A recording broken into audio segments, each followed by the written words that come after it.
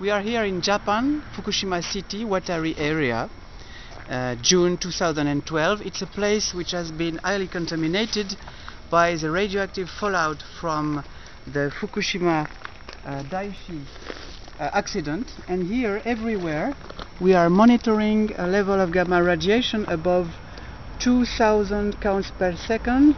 Everywhere in these uh, places with a lot of soil and grass which is contaminated and the dose rate is, about, is above 1 microsievert per hour, which means that if you spend 1000 hours here, you will receive 1 millisievert.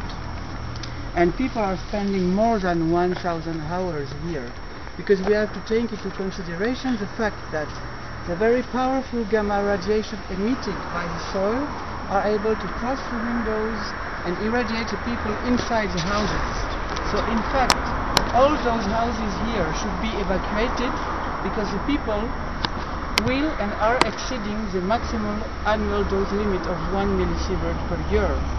And this contamination will last for a very long time because cesium-137, one of the radioactive metals accumulated on the soil, has a half-life of 30 years which means that his radiation will decrease only by a factor of 2 after 30 years.